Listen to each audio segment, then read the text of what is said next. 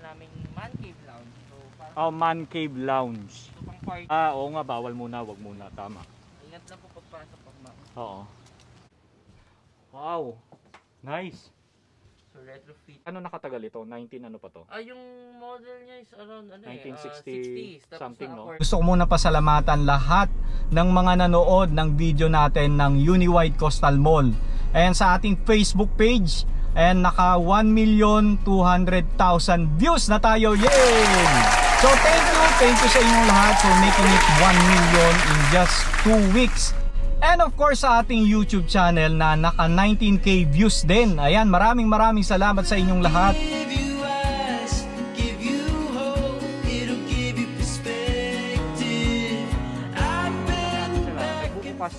Ah, open ang ah, Palacio de Memoria from 10 to 5. Tuesday.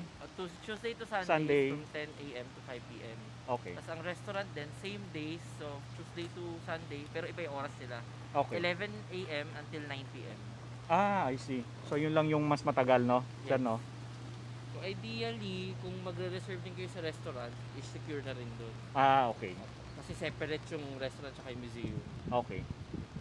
So eto sir, ah, oh, malalaman na lang natin sa loob. Si sir na mag-explain Ano sa po atin. yun? Ano ano bang meron sa loob niyan sir? Bar? Ah, ano siya, dati siyang ah, passenger air, aircraft, so 19-seater. Oo. Pero ngayon, ginawa naming man cave lounge. So parang Oh, Man Cave Lounge. ito pang parties. Pang parties. Ah, I see. Akala ko sir ah, restaurant eh. Actually, yun yung plan before. Ah, okay. Kaya lang dahil kailangan ng open air, doon na lang sa pool area.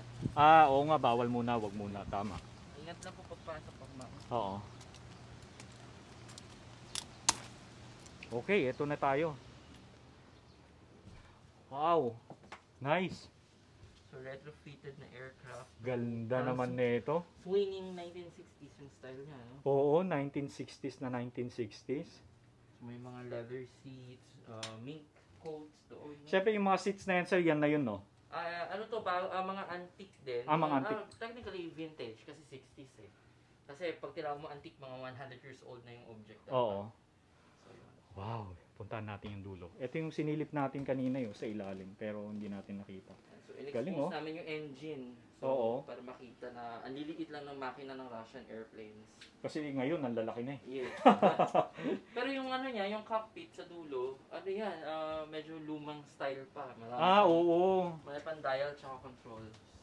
At siyempre may mga luggage luggage. Yes. Tingnan mo yung mga luggage oh. Sinong mga nagkaroon na ng mga luggage na ganyan? Parang feeling ko meron pa kami dito sa bahay sa lola ko eh. Galing. O, paandarin na natin, sir.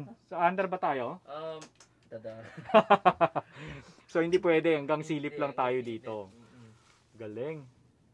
Medyo masikip din siya kung tutuusin. Ano nakatagal ito? 19 ano pa to? Ah, yung model niya is around ano eh, 1960 ah, 60s. Tapos something, no? na-acquire siya ni Mossfield, mga 2000s. No?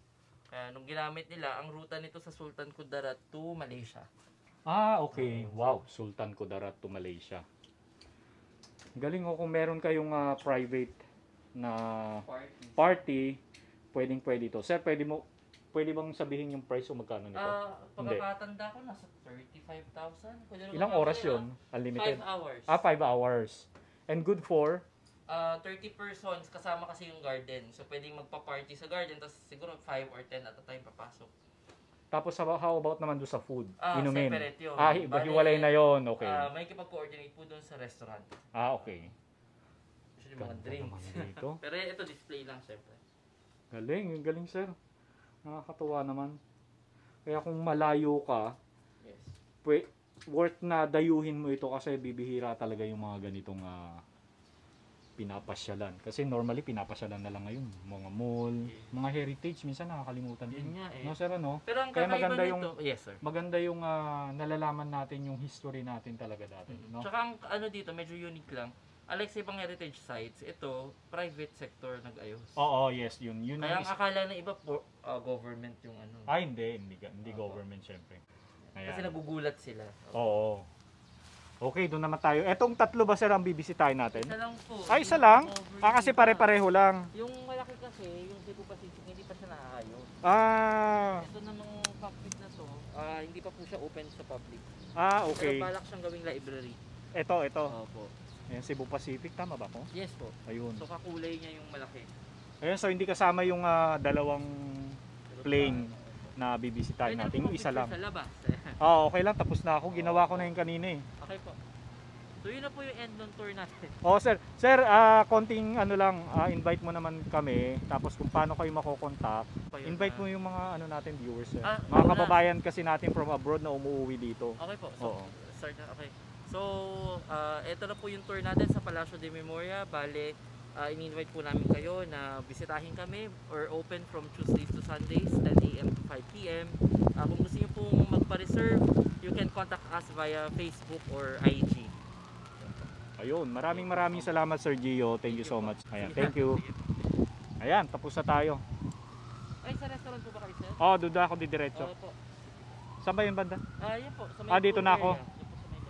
Okay, ah, sir, thank you ah. Ah, oo. So, ah, wait lang.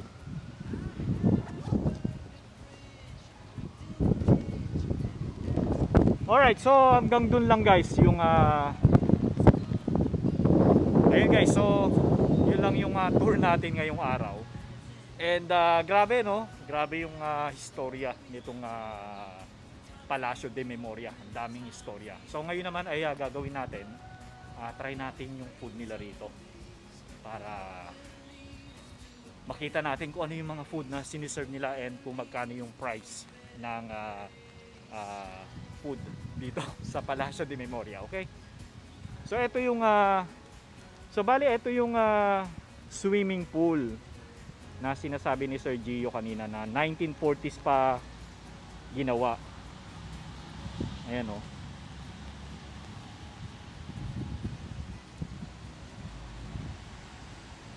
Yan.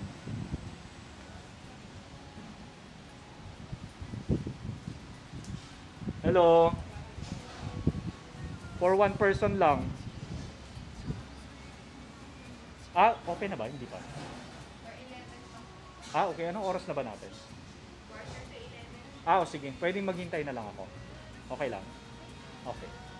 Doon tayo sa may ano dulo. Dito sa wala masyadong tao. Baby, you won't leave me again. And dito na lang tayo. Check natin yung kanilang mga siniserve na food.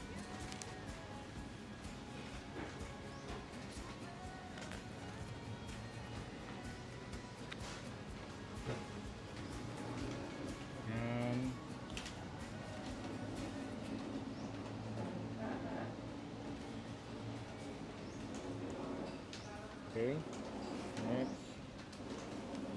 May idea kayo. Yan. Thank you.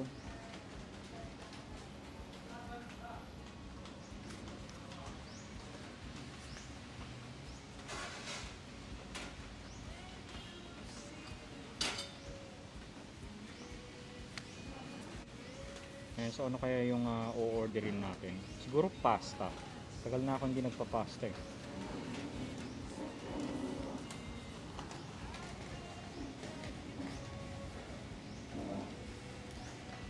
Boss, ano yung uh, best seller mo na pasta dito? Sir, bali dalawa sir. Ano? Yung linguine, cal- prawns, Linguine. prawns, coffee, uh, lobster. At saka yung spaghetti nacho bibato. Mm, okay. Linguine, ito. Ano ito raw? One of the famous daw. Bigyan mo ako ng isang linguine, prawns, copy scallops, tomato. Thank you. Dito nga tayo. Eh, na-curious ako ano to eh.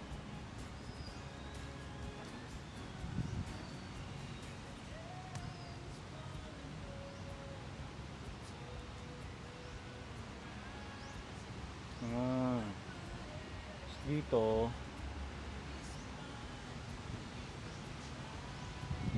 Okay.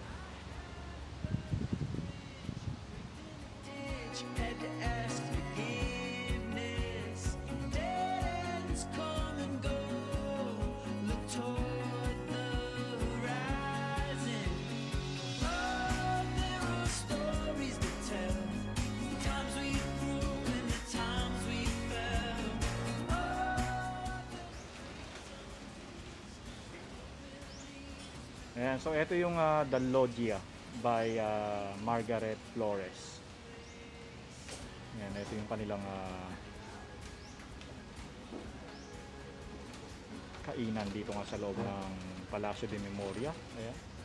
Ayan, so meron silang complimentary ano, breadstick ayun.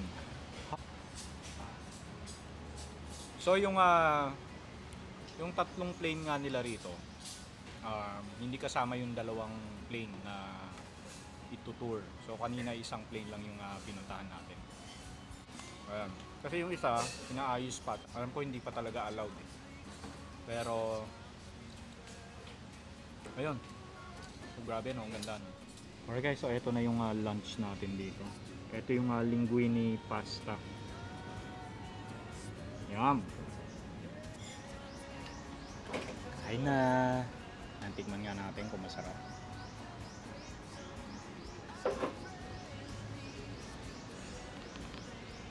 Mmm. Sarap. Hindi overcook yung ano, yung pasta. Tama lang yung pasta nila.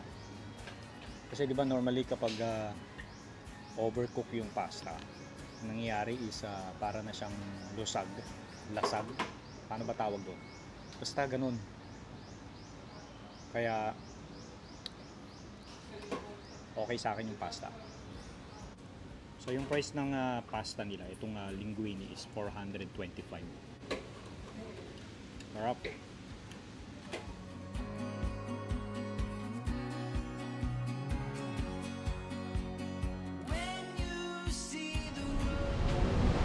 Alright guys, so ah, paalis pa lang tayo dito sa Palacio de Memoria. And ah, kakatapos ko lang kumain. Dito na rin ako nag-lunch para pag uwi ko wala na ano? Grabe lakas ng hangin. Ay punta lang natin itong plane dito guys. Itong ah, ito daw yung ah, Cebu Pacific. Ay lumang plane ng Cebu Pacific Oo.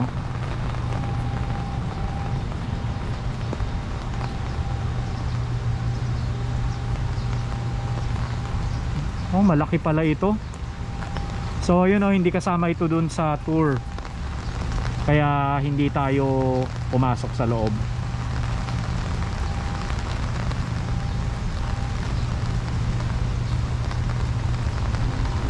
Okay. Ayun, so grabe, ang ganda, ang ganda ng Palacio de Memoria. And gusto ko yung idea na ginawa nila na naglagay sila ng ah, eroplano. Tapos kinonvert nila into a lounge. Ayan, so I hope na makapasyal din kayo dito someday. And ah, ulitin ko lang yung schedule nila. ah, open sila from Tuesdays to Sundays from 10 o'clock ng umaga hanggang alas 6 ng hapon.